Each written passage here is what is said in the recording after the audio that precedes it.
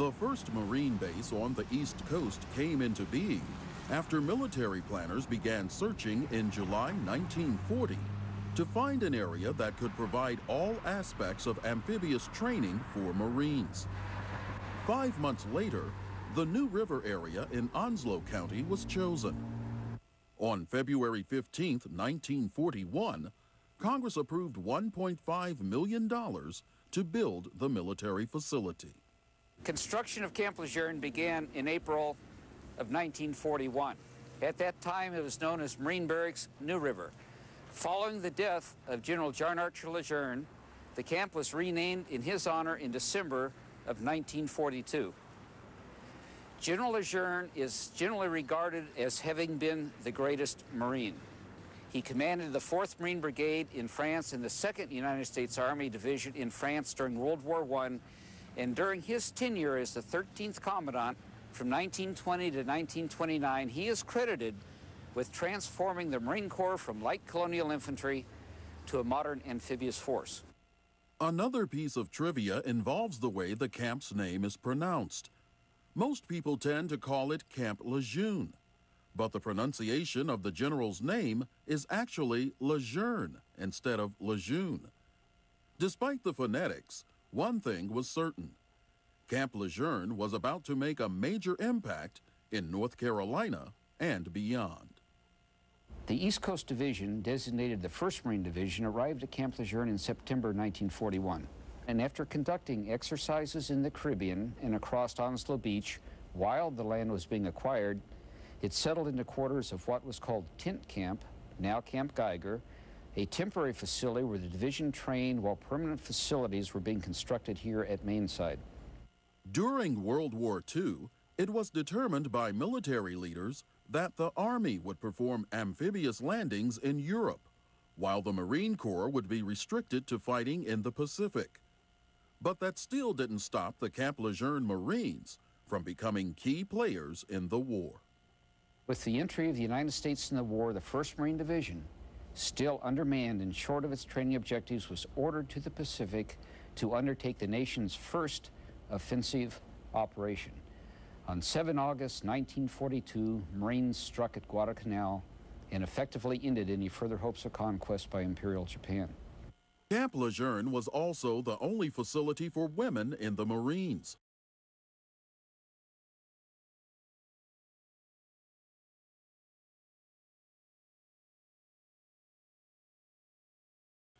Almost 19,000 women trained exclusively at Camp Lejeune between 1943 and 1945.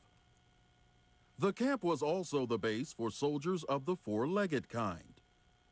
Camp Lejeune was home for what was known as the Devil Dogs, canines used during combat as messengers or to alert Marines of approaching enemies. After World War II, the Marine Corps lost four of its six divisions. In addition, Camp Lejeune's 1st Marine Division switched places with the 2nd Marine Division at Camp Pendleton, California in 1946. Despite the shortages, General Douglas MacArthur called upon the original 1st Marine Division in 1950 to fight in the Korean War. The superb performance of the augmented 1st Marine Division at Incheon and during the remainder of the war reestablished the nation's need for a general purpose task organized amphibious force and readiness, and guaranteed the continued existence of the Marine Corps. The 1st and the 2nd Marine Divisions had saved Korea, and the Korean War had saved the Marine Corps. Camp Lejeune's units did not deploy to Vietnam.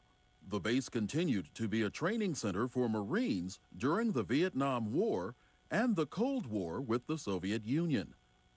The camp continued its focus on artillery and amphibious training. Camp Lejeune is the resting place of a memorial that honors its fallen comrades, following one of the single most horrific tragedies in Marine history. On October 23, 1983, a terrorist drove a large delivery truck loaded with explosives into the Marine barracks at the International Airport in Beirut, Lebanon. 220 Marines and 21 other U.S. service members were killed. The Marine Corps continues the tradition of protecting U.S. interests today by serving in areas such as Iraq and Afghanistan.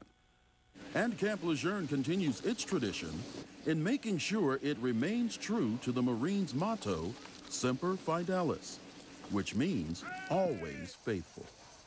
You have 78 live fire ranges, 98 maneuver areas, 34 gun positions, 50 tactical landing zones, three combat towns, and 11 miles of beach for amphibious training. All that training that is required for all the occupational specialties in the Marine Expeditionary Force is being conducted here at Camp Lejeune. So when those Marines go to Afghanistan and Iraq, they will be perfectly capable of performing the functions that they need to do to make sure our military objectives are met there.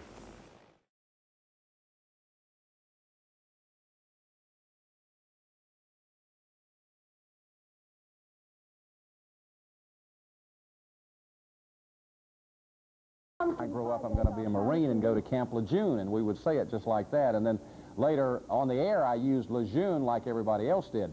But 23 years ago, an old radio program director corrected me. He said the Marine base was named for a famous general who came out of the Cajun country of Louisiana, and that it was pronounced Lejeune. Well, I've used that ever since. But since I get so much flack about it, both inside and outside the station, I got real interested in the name and also in the man. So before I capitulate, I'd like to share with you my story about one of America's greatest military heroes. He took us on a Sky 5 trip into the Blue Ridge Mountains of Virginia and the prestigious Virginia Military Institute that spawned the careers of Generals Stonewall Jackson and George Marshall. It's also where John Archer Lejeune came to serve as superintendent in 1929, after his years as Commandant of the Marine Corps. An important building at VMI now bears his name. I talked with the deputy superintendent. General, what do you call this building back here? This is Lejeune Hall.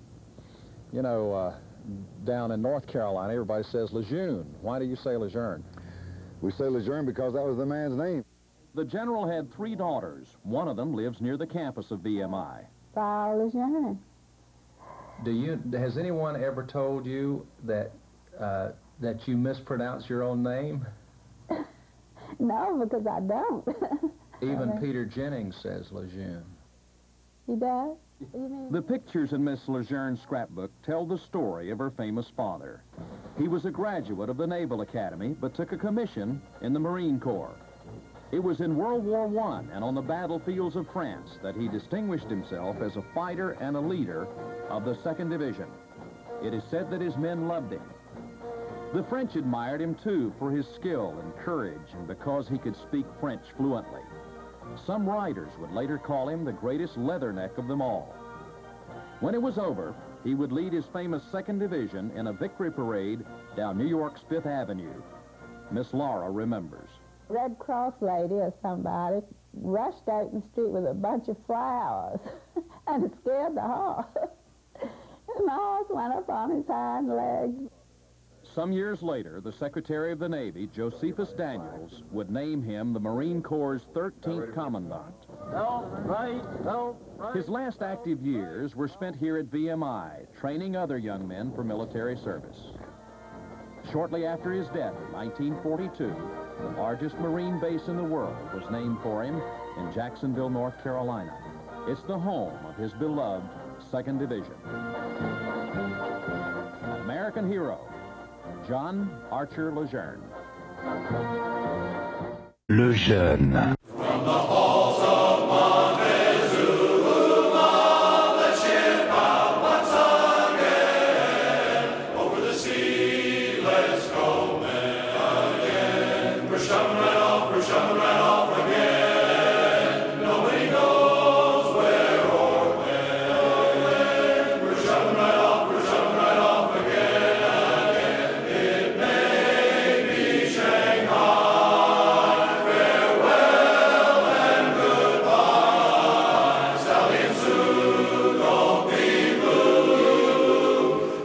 begun great.